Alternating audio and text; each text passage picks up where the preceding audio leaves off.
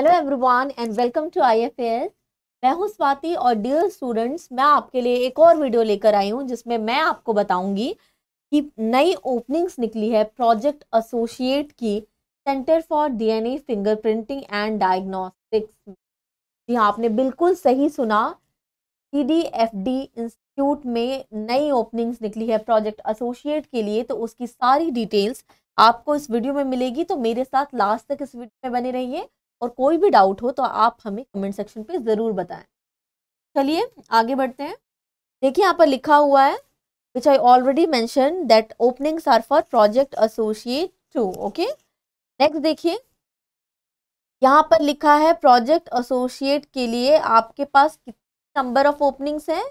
Only one only one number of post and which will be selected through walk in interview तो यहाँ पे लिखा है C D F D invites application from Indian nationals for the following purely temporary vacancy यानी कि जो vacancy है temporary basis पे होगी परमानेंट बेसिस पे नहीं है. Please note this project title क्या है? देखिए प्रोजेक्ट टाइटल है genomic surveillance for SARS CoV two in India Indian SARS CoV two genomics consortium in Cozi ठीक है तो ये आपका पूरा प्रोजेक्ट हो जाता है।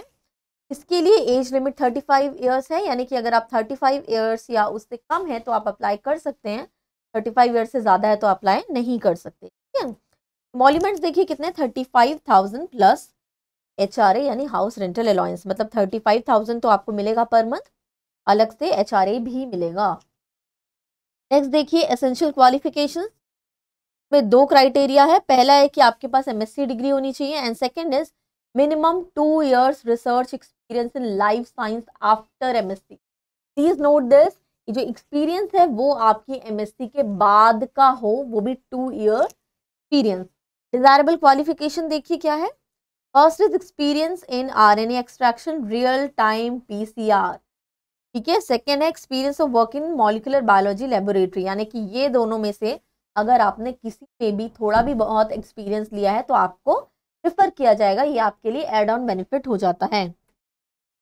नेक्स्ट देखिए नेचर ऑफ़ ड्यूटी में लिखा हुआ है candidate will be expected to work in SARS covid two analysis laboratory involving work related to R N extraction from virus real time P C R and result analysis ठीक है तो आपको ये laboratory में वर्क करना पड़ेगा where SARS CoV two will be studied और पूरा एक्सपीरियंस में आर एन एक्सट्रैक्शन इंक्लूडेड होगा real time PCR and result analysis included है।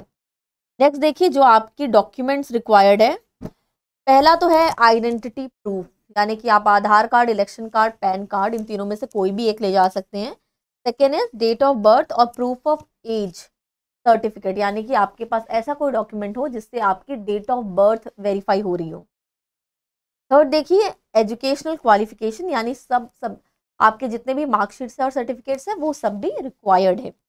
फोर्थ देखिए एक्सपीरियंस सर्टिफिकेट यानी कि आपने जहाँ भी काम किया है, वहाँ से आपको एक एक्सपीरियंस सर्टिफिकेट मिला हुआ होना चाहिए।